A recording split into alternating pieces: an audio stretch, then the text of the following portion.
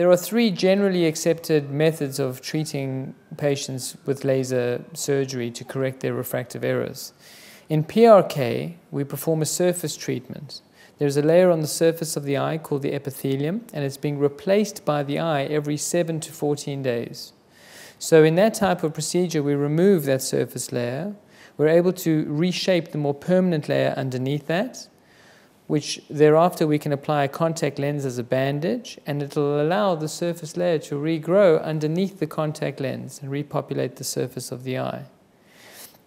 In LASEK, EK, that is a system whereby, very similar to PRK, we remove the surface layer, but in this case we don't discard it, we actually just push it to one side. We then reshape the permanent layer underneath and we then redrape over the surface layer. And then a contact lens is once again applied to the surface to protect that layer while a new layer will grow underneath.